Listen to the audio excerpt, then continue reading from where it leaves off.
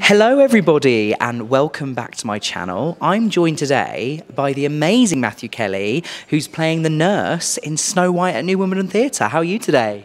Oh, fabulous! Thank you. I um, I am playing the nurse. Yes. Snow White is an absolute classic, and you're here with others as well. There's quite a few exciting names in this show. Have you worked with Brenda or Ruthie before? Well, Brenda Edwards uh, has worked a lot with my son. She was on tour for 18 months in Hairspray, and my son played Edna. And yeah, and he's now gone into Moulin Rouge, playing Zidler. Wow. I know. And I've just finished Noises Off, which is going to the Phoenix Theatre, so we'll be in the West End at the same time. Uh-huh. And Brenda is our bridge and he adored Brenda. Oh. And I've just met her for the first time today, and I can see why he adores her. She's such a talented woman, and of course, she was in X Factor, which I was devoted to. Me too. Uh, were you? yeah. Oh, really, really? I've been a fan of Brenda's for years. She did Chicago. She's done Hairspray. She's done all of the great shows. She's yeah. she's she's had all the greats. That woman, and there's Ruth, talking of all the greats, Ruthie Henshall. Yes. Who's yeah. also been in everything and and she's like pro- proper actress and everything. She's and and dear as well. So can we expect some um, good fun and banter in the pantomime?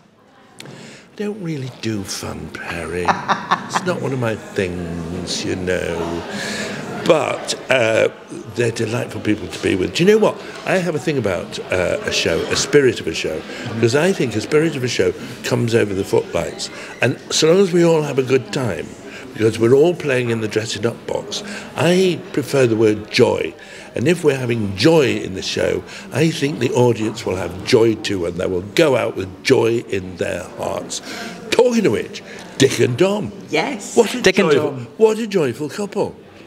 I mean, they're lovely. I've never met them before. It's extraordinary. And Lee Mead. I mean, Amazing. They're all delightful people, and I have to tell you, I have never worked in a bad company ever. I have always, always had a great time playing in the dressing up box, telling stories, sometimes for children, quite a lot for adults. but nothing offensive. Do you know what I mean? Mm-hmm. Yeah. There's a thing in pantomime that's called uh, AFS. It's called Acceptable Family. I shouldn't really say that, should I? No, you can say that. But there are things that you can say in pantomime, uh, you can do in pantomime. Like things that, that, that adults like, that children will enjoy anyway, you know. But the adults will get it, and children will go, ah, where's my ice cream? so obviously you're playing a dame, which is the most iconic role in any panto, which is super exciting as the nurse. What are you most looking forward to about being in Wimbledon? Well, I played Wimbledon loads, you know. Uh, what I'm looking forward to most is the fact that it's near my house. That's my favourite thing. I didn't realise until last year, I was doing a, a, a daytime telly show.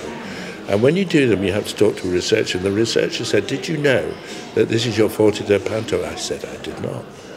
Because I started in 1967. So I've been working for, oh, 55 years. Maths, not my strong point. Incredible. But, so this is my 44th panto. Wow. Uh, and, and I do enjoy it immensely. I love being in the know. I love sitting in the wings.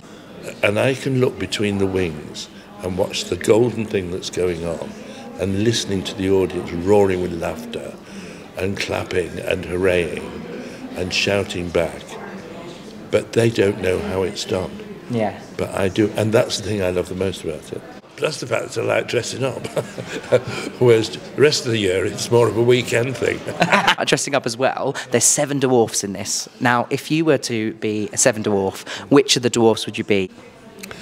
My very first stage appearance was at seven years old, which was 65 years ago, and I was Happy the dwarf. Happy. Oh, so this is like a full circle moment then, doing this for the very first time all those years ago and now back. It is kind of because I've never done Snow White before, and um, so if I was to be a dwarf, I would be happy. I think I've outgrown it now, mm. so I would never be. But happy is the one for me, and I got chosen it especially because I was. When I was seven. Well, you're going to make loads of people happy, including myself, um, at the New Wimbledon Theatre for the Panto, which is happening 3rd of December. 3rd of December to the 31st of December, the Wimbledon Theatre. And uh, you say that to all the boys, Perry.